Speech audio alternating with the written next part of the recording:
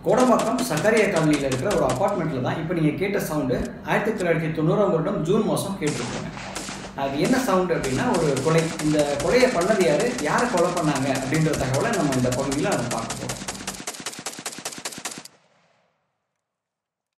வணக்கம் ராஜீவ் கொலை திட்டத்தில் சிவராஜன் ஒரு முக்கிய புள்ளியாக எப்படி வந்தார் அப்படின்றதுக்கான காரணம் வந்து அவர் அதுக்கு முன்னாடி பண்ண ஒரு அசைன்மெண்ட் அப்படின்னு சொல்லி லாஸ்ட் எபிசோடில் சொல்லியிருப்போம் அது என்ன அசைன்மெண்ட் அப்படின்றத இந்த பகுதியில் நம்ம பார்க்க போகிறோம் ஆயிரத்தி தொள்ளாயிரத்தி தொண்ணூறாம் வருடம் பிப்ரவரி மாதம் சின்ன சாந்தனை கூட்டிட்டு சிவராஜன் சென்னைக்கு வர்றாரு. சிவராஜன் வந்துட்டு சின்ன சாந்தனை காலேஜில் படிக்கிறியா? சென்னையில் போயிட்டுன்னு சொல்லி தான் கூட்டிட்டு வந்திருக்காரு.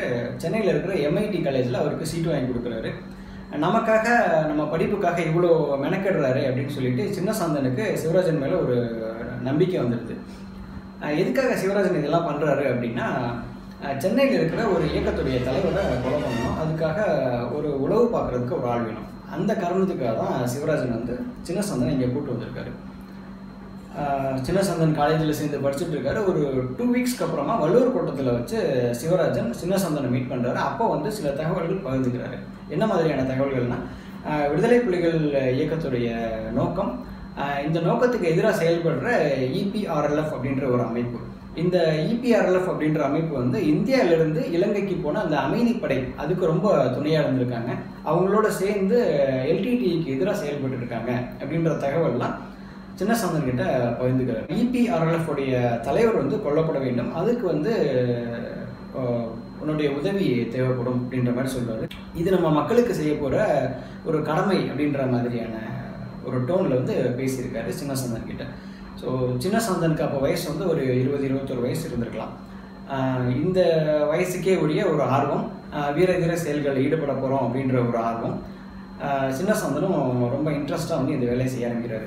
எப்படி இபிஆர்எல்எஃப் டீமுக்குள்ளே போகிறாரு அப்படின்னா இலங்கையிலேருந்து வந்த அகதி அப்படின்னு தன்னை அறிமுகப்படுத்திக்கிட்டு இபிஆர்எல்எஃப் டீமில் போயிட்டு அவர் ஜாயின் பண்ணுறாரு டீமில் இபிஆர்எல்எஃப் இயக்கத்தில் வந்து அவர் சேர்ந்துக்கிறாரு.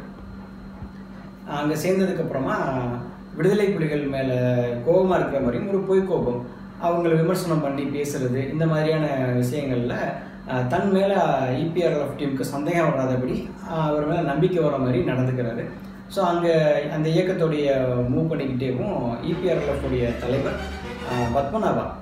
எப்போ சென்னை வருவார் இப்போ எங்கே இருக்காரு போன்ற தகவல்கள்லாம் கலெக்ட் பண்ணி சிவராஜனுக்கு பாஸ் பண்ணிகிட்டே இருக்கார். ஜூன் மாதம் பத்மநாபா.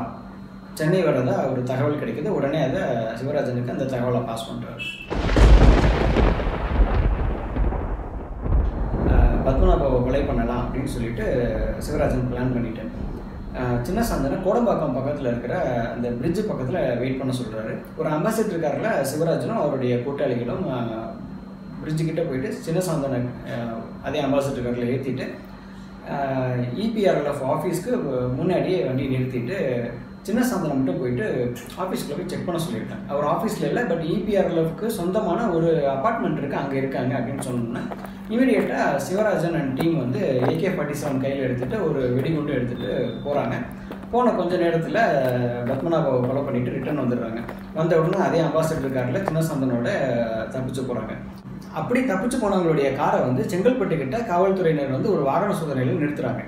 ஏற்கனவே காரில் நிறைய ஆயுதங்கள் இருக்குது இந்த சூழ்நிலையில் காவல்துறைகிட்ட மாட்டிக்கிட்டோம்னா பெரிய பிரச்சனை ஆகிடும் அப்படின்றதுக்காக சிவராஜன் என்ன பண்ணுறாரு அப்படின்னா காரில் இருந்தவங்கள கஞ்சாடை காமிச்சிட்டு இவர் வந்துட்டு டிக்கியை திறந்து காமிக்கிற மாதிரி கார் பின்பக்கமாக போய் டக்குன்னு டிரைவர் சீட்டில் ஏறி கார் எடுத்துகிட்டு எஸ்கேப் ஆடுறாரு காவல்துறையில் வந்து இவங்களை சேஸ் பண்ணுறாங்க பட் அவங்க பிடிக்க மாட்டாங்க. இப்படி போயிட்டு இருக்கும்போது சிவராஜனுக்கு ஒரு தாட் வந்து என்ன அப்படின்னா காவல்துறையினர் ஏற்கனவே வந்து நம்மளை சேஸ் பண்ண ஆரம்பிச்சிட்டாங்க. ஸோ இப்போ இந்த அம்பாசிடர் காரில் போகிறது நல்லதில்லை.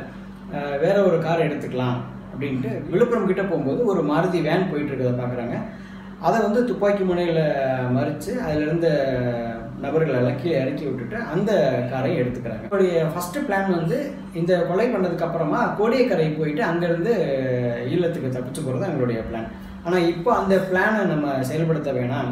நம்ம வந்து பிளான் வந்துட்டு மாற்றிக்கலாம் திருச்சி பக்கத்தில் புதுக்கோட்டை மல்லிப்பட்டினத்துலேருந்து நம்ம இல்லத்துக்கு தப்பிச்சு போயிடலாம் அப்படின்ற மாதிரி பிளான் மாற்றிடுறாங்க அவங்களுடைய கம்யூனிகேஷன் மெத்தட் அதை பற்றி நம்ம அடுத்தடுத்த பதிவுகளை நம்ம பார்க்கலாம்.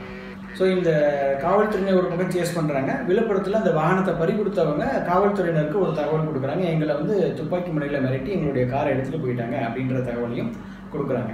ஆனால் இந்த ரெண்டு விஷயங்களுமே விழுப்புரம் தாண்டி திருச்சி தாண்டி அவங்க மல்லிப்பட்டினத்தில் போய் ஸ்டே பண்ணி அதுக்கு போட் வர வரைக்கும் வெயிட் பண்ணி இருந்திருக்காங்க இவ்வளோ டைம் இருந்தும் காவல்துறையினர் அவங்கள சேஸ் பண்ணி க்ளோஸாக போல அவங்கள வந்து அரெஸ்ட் பண்ணல. இதுக்கு பின்னாடி என்ன காரணங்கள் அப்படின்னு கேட்டிங்கன்னா இன்றைக்கு வரைக்கும் அது கேள்விக்குறியாக தாங்க இருக்குது நம்மளோட அடுத்த பதிவில் நளினி எப்படி அரெஸ்ட் பண்ணாங்க அப்படின்றத பார்க்கலாம். அதோட இந்த ராஜீவ்காந்தி கொலை வழக்கில் விசாரணை செஞ்ச அதிகாரிகளுக்கு வேற யார் மேலேயாவது சந்தேகம் இருந்ததா அப்படின்றதையும் அடுத்த பதிவில் நம்ம பார்க்கலாம்.